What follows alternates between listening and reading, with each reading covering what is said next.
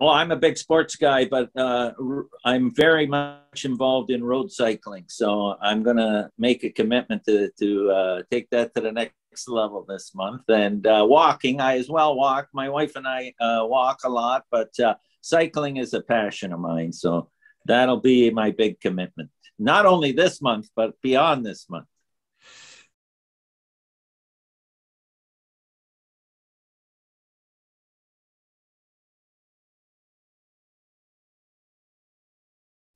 I actually do prefer to be out in the country roads. I'm on the uh, outer edge uh, so, uh, of the city, so it's easy for me to access the uh, the uh, outer roads as well as the Greater Niagara Circle route, uh, which runs through Thorold and is a, a multi-use path that is a, is an excellent cycling area. The Niagara Circle route, where work when you hit Port Robinson in Thorold, um, we have a ferry um, which allows you to go across the Welland Canal and actually cut the circle route in half. So if you don't want to do the whole circle route, you can do half the circle route, take the ferry across, move on to Chippawa, and either go north or south from that point. So uh, we really uh, get a lot of traction with uh, with the ferry in Port Robinson, Robinson, and uh, it's becoming more popular all the time. And it's a uh, and it's uh, free to the community. Um, it's uh, put on uh, through a joint thing between the city of Thorold and the region of Niagara, and uh, it's an, an outstanding uh, hidden gem. Let's put it that way.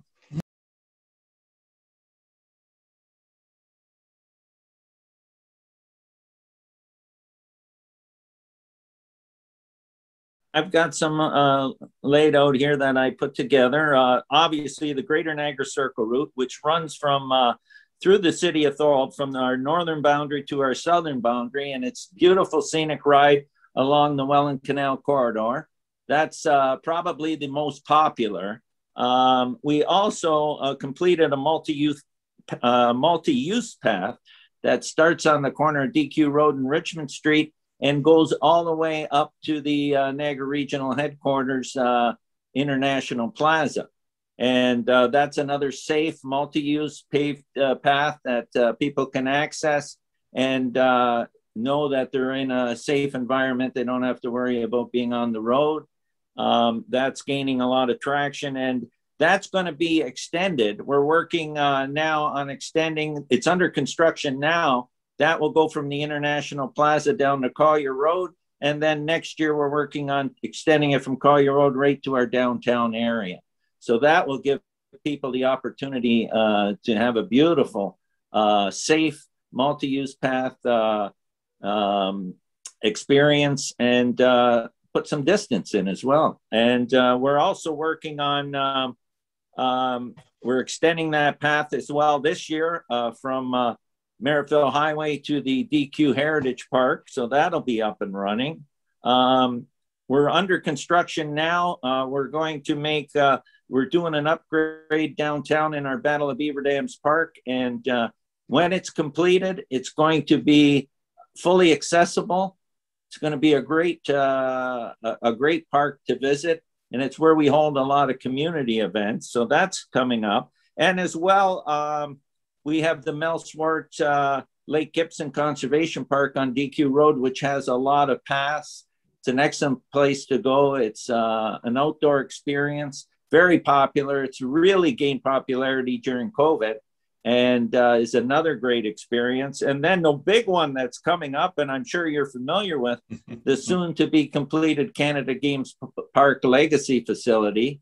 And uh, we're a partner in that. And uh, that's going to be able to offer all kinds of uh, opportunities for the public and fully accessible.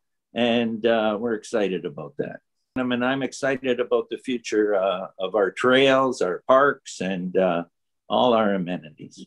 Yeah, like you said, what's coming in uh, a year or so with uh, that park, with uh, in association with the games, that is going to be a really a crown jewel for the province and maybe even the country, right? Absolutely. And it's located in the city of Thorold, which makes it even better.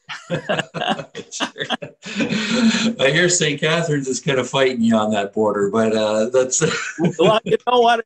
It's a very unique situation because when you drive into Brock University, on your right hand side, you're in St. Catharines, and on your left hand side, you're in Thorold. The Canada Games Park facility is on the left hand side. but you know what? We all work together. We got a great relationship with the city of St. Catharines, the region, Brock University, and ourselves. So it's it's all good. That's terrific.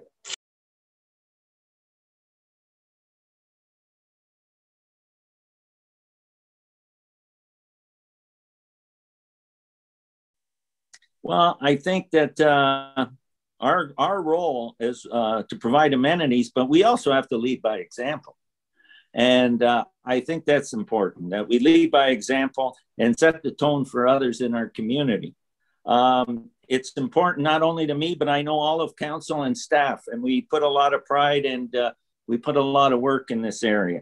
And the City of Thorold's uh, priority is on being diverse, inclusive, and welcoming community free of racism and discrimination. And we're a member of the Coalition of Inclusive Communities, uh, which, with which the region joined and we signed on to, as well as other municipalities in Niagara. And uh, we must lead by example and always, always strive to improve and get better. And uh, we're very active as well at the committee level. Um, we have committees of council that do great work. And uh, some of them are our age friendly committee, uh, our Parks, Trails, and Recreation Committee, our Thorold Active Transportation Advisory Committee, and our Joint Accessibility, Accessibility Advisory Committee. And these committees do a lot of great work, but they make recommendations to council, and council acts on them. And uh, a lot of them are to do with accessibility issues. And uh, so we've come a long way, and these committees have done laid a lot of groundwork for us. And uh, I think there's a good buzz in the community, and uh, you know, people want to want the community to offer the amenities. And uh, COVID nineteen has taught us one thing: is that uh, people are really appreciating getting outdoors more. And I think that that's going to be one thing that is going to be a lasting legacy of this is uh, uh, outdoor amenities, you know, uh, activities such as cycling, hiking, uh, we're really seeing a lot of people out in the community, in the parks and the trails. And uh, I look forward to that continuing. And I look forward to us improving those amenities in the community.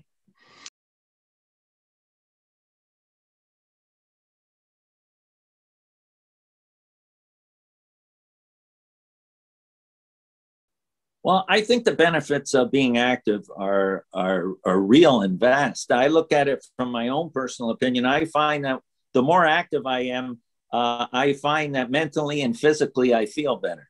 Um, I think I think clearer, have more stamina. Uh, you sleep better, and I think it also leads you to other areas of lifestyle like healthier eating and different things because it's all encompassing. Um, I know if I've had a stressful day and uh, I've been in a lot of meetings, if I go hop on my bike and go for a ride, um, I just feel so much better when I come home. It just is a good stress reliever. And uh, uh, I just find that I do some of my best thinking when I'm out on my bike. And mm-hmm. Uh, I just find that uh, the benefits are there. I mean, uh, you, you know, when you're involved and you're active, you, you, you feel the benefits of that. And uh, personally, myself, I find if I'm not active, I really notice the difference.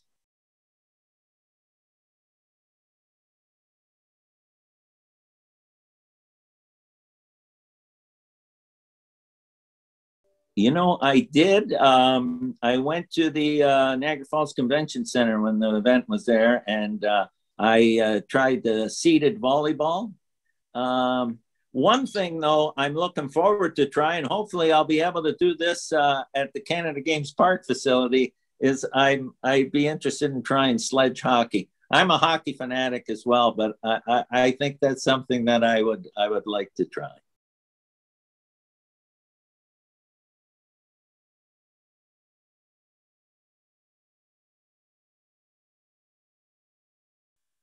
So what I'd say is, uh, let's come together as a community. Uh, find an activity that interests you and pursue it. And, and if it's more than one activity, all the better. Um, you know, reap the benefits of an active, healthy life, lifestyle and continue on with it, not only in the month of June. Let's make this a, a lifestyle change and part of your daily life. I think that's uh, the message I'd like to get out there. And I think that if people do become involved and see the benefits, they will uh, continue, or a large majority, I think, will continue. And I think we're seeing that right now. And so this is a good time to build on that momentum, I think.